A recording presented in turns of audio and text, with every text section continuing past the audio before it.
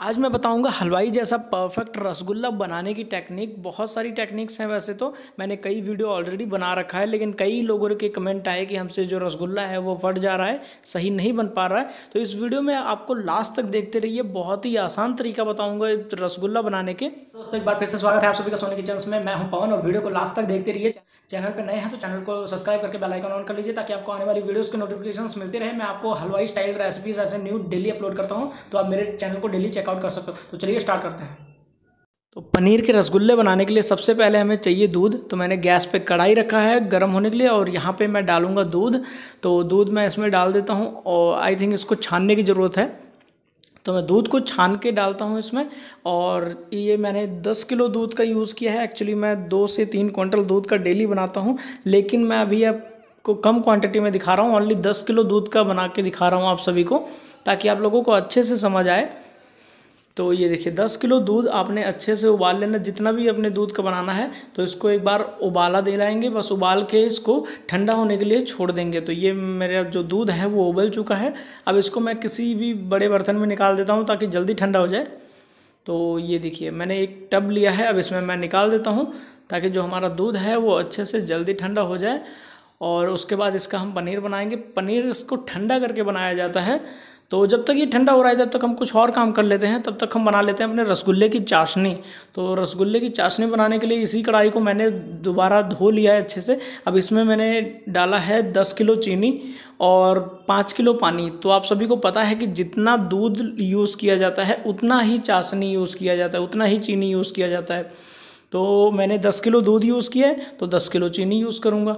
तो 10 किलो चीनी और 5 किलो पानी मैंने इसमें डाल दिया। अब इसको उबाल आने तक का वेट करेंगे तो उबाल आ चुका है। अब मैं इसको हिला इसलिए नहीं रहा कि इसको ऊपर से जो कचड़े वाली मलाई जमा हो रही है, इसको जमा होने देते हैं झाग। तो इसको अब निकाल देते हैं धीरे धीरे करके जब ऊपर से इकट्ठा हो जाए। इसको मैं चाशनी को अच्छे से साफ़ करना ज़रूरी है क्योंकि हम वाइट रसगुल्ले बना रहे हैं, आप सभी को पता है। तो वाइटनेस इसके अंदर ज़्यादा अच्छी आने के लिए चाशनी का साफ़ होना बहुत ज़्यादा ज़रूरी है। तो मैंने निकाल दिया फिर भी चाशनी जो हमारा काला काला सा लग रहा है, बिल्कुल गन्ने के जूस की तरह लग रहा है। तो देखिए, इसको हम साफ़ करेंगे। तो साफ़ करने के लिए मैंने दूध का यूज़ किया है। 100 ग्राम दूध है। एक्चुअली ये 300 सौ का ग्लास है।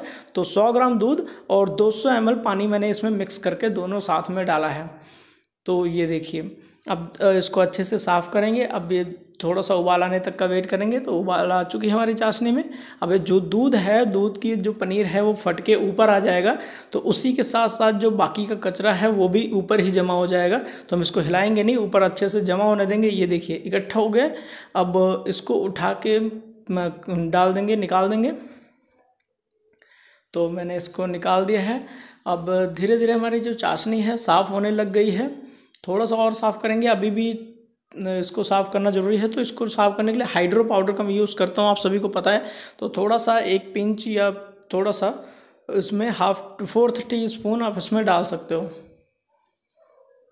तो मैंने हाइड्रो पाउडर वगैरह डाल दिया है, वो चाशनी हमारी काफ़ी ज़्यादा, काफ़ी हद तक साफ़ हो चुकी है। तो ये देखिए, अब हम रेडी करते हैं अपना दूध। हमारा दूध ठंडा हो चुका है। तो अब इसको हम बनाते हैं पनीर। ज़्यादा ठंडा भी नहीं चाहिए, हाथ लगा सको। उसके बाद यहाँ पे मैंने दूध को फाड़ने के लिए पनीर वाला मसाला जो होता है, पनीर फाड़ने वाला मसाला किराने की दुकान पर मिलता है कहीं भी। तो यहाँ पर मैंने यूज़ किया है पानी में मैं इसको डालूँगा तो पानी मैंने दो दो तीन लीटर लिया है। इसमें दो चार चम्मच मैं इसमें पनीर वाला मसाला डाल दूँगा। ज़रूरी नहीं है, कम ज़्यादा हो जाए, कोई प्रॉब्लम नहीं है। बस पानी को आराम आराम से इसमें डालना है। जितना पानी बच जाए, उतना रख लो। तो थोड़ा थोड़ा करके दूध में डालेंगे। जब जब तक फटता नहीं, तब तक उसको डालते ही रहना है। इसका कोई मेज़रमेंट नहीं होता कि पानी कितना चाहिए या फिर अपन तेज़ाब कितना चाहिए। तो यहाँ पे मैंने डाल दिया है और हमारा जो दूध है वो फट चुका है बिल्कुल अच्छे से। अब इसको हम छान लेंगे कपड़े में। तो यहाँ पे मैंने कपड़ा लगाया है और उसको अच्छे से इसका जो पानी है वो निकालेंगे। आप सभी को पता है, ये मैंने कई प्रोसेस आपको दिखाया है कई बार। तो ये तो बहुत ईजी प्रोसेस है, यहाँ तक तो कोई भी कर लेता है। लेकिन आगे थोड़ा सा मुश्किल होता है जब इसमें हम मसाले वगैरह डालते हैं, जैसे बेकिंग पाउडर और सोडा तो ये पानी हमारा जो निकल चुका है, अब इसको हम एक ट्रे में डाल के, एक बर्तन में डाल के उसको, अपने छेना को, जो हमारा छेना रेडी हुआ है पनीर इसको हाथों से अच्छे से मैश करेंगे। मक्खन की तरह होना चाहिए बिल्कुल। एक्चुअली में हमने सॉफ्ट ठंडा करके पनीर फाड़ा है ना, दूध को ठंडा करके सॉफ्ट पनीर बोलते हैं इसको। तो ठंडा करने के बाद सॉफ्ट पनीर होता है ये। तो सॉफ्ट पनीर को ज़्यादा इसको करने की ज़रूरत नहीं होती, ये देखिए, बिल्कुल पहले से ही मक्खन जैसा है। तो इसमें अब थोड़ा सा मैं डालूँगा पचास ग्राम के करीब घी। दो किलो पनीर है हमारे पास इस टाइम तो सौ पचास ग्राम मैंने घी डाला है। घी क्या, घी से क्या होता है, जो हमारा रसगुल्ला है, बहुत बढ़िया से फूलता है। और बस अब इसको भी मिक्स कर देंगे अच्छे से और उसके बाद इसको निकाल के रख देंगे फ्रिज में।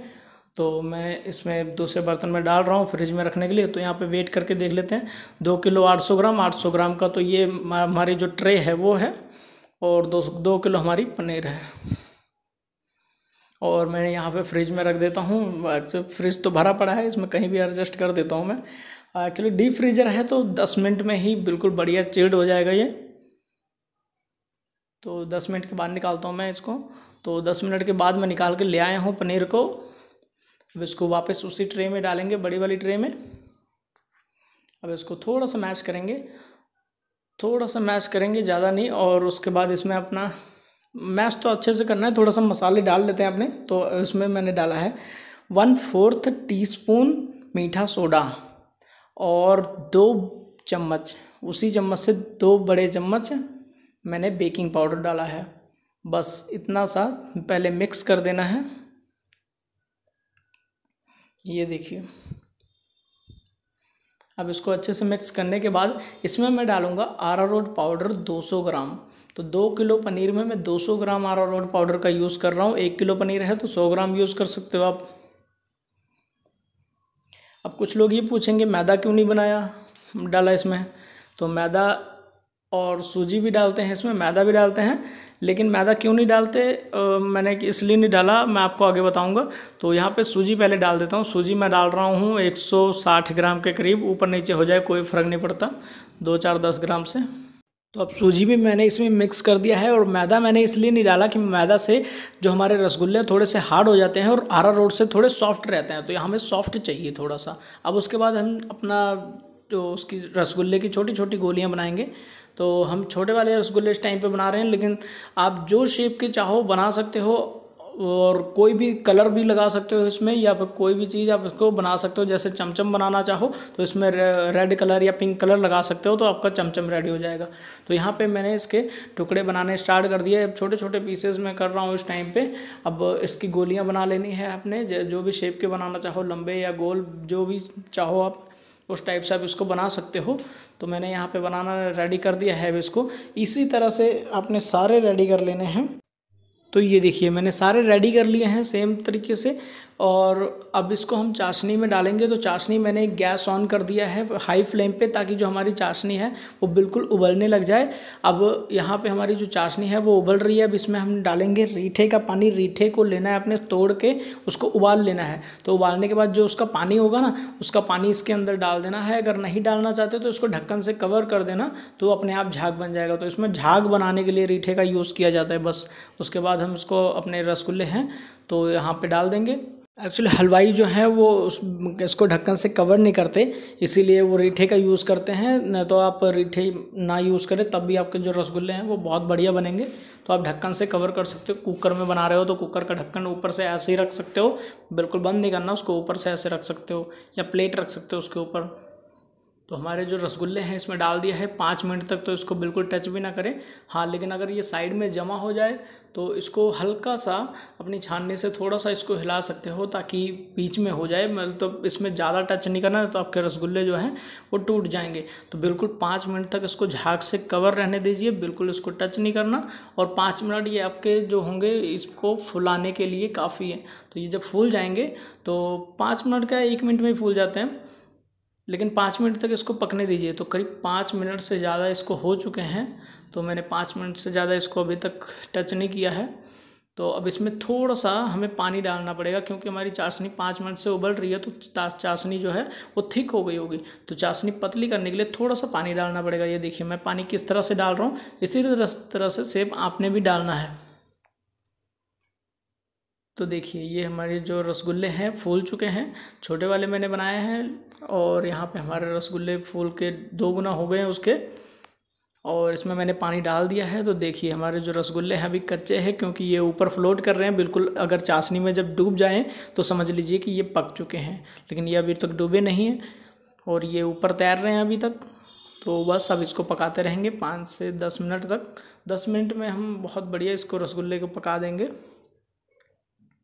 तो करीब दस मिनट के बाद मैं इसको ओपन करता हूँ। अब ये देखिए, दस मिनट के बाद मैं थोड़ा सा पानी इसमें और डाल दूँगा, क्योंकि हमारी चाशनी फिर से गाढ़ी हो चुकी होगी।